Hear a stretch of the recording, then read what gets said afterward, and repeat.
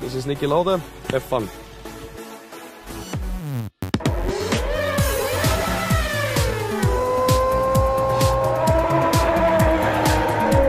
First time he called me on the phone, he said, uh, Yes, I guess we have to meet now. And I said, Yes, Niki, that'd be great. So he even took me to Brazil, to the Grand Prix, where I could meet Sebastian Vettel, Nico Rosberg, and uh, he also introduced me to former drivers like Jackie Stewart and Nelson Piquet.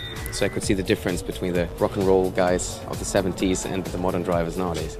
Because it's highly addictive. I definitely want to come back for the Grand Prix and, and you know, spend some time here.